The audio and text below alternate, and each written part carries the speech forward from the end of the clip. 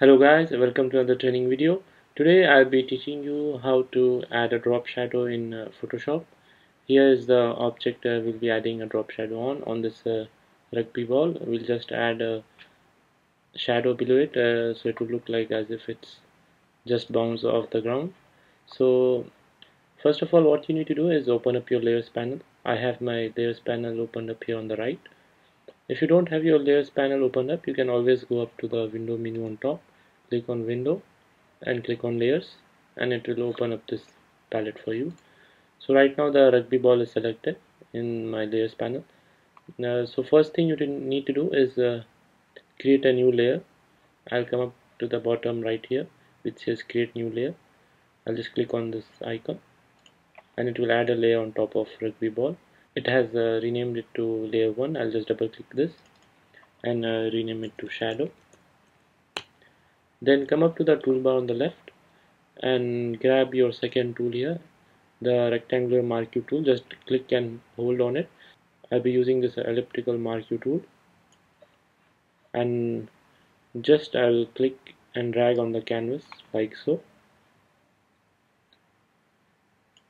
And I'll come up to the edit menu on top and click on fill. And I will set the contents to use as foreground color which is our black at the moment and set the blending mode to be as normal and click on OK. Next thing you can do is just uh, grab your move tool here on the top left in the toolbar. Click on this keyboard. I'll just move it down or you can just click and drag as well with your mouse.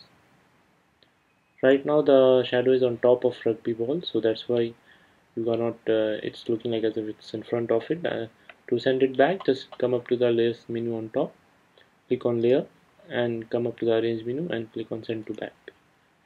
And next thing you can do is uh, just deselect this by clicking on command D on the keyboard which will deselect the selection if you're using Mac uh, use command D and if you're using Windows control D.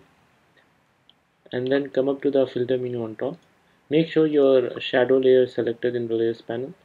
Then come up to the filter menu on top. Click on filter click on blur and click on Gaussian blur. Now you can see it has started to blur the shadow the edges. You can just increase the radius. Right now it's set to 9.5 pixels.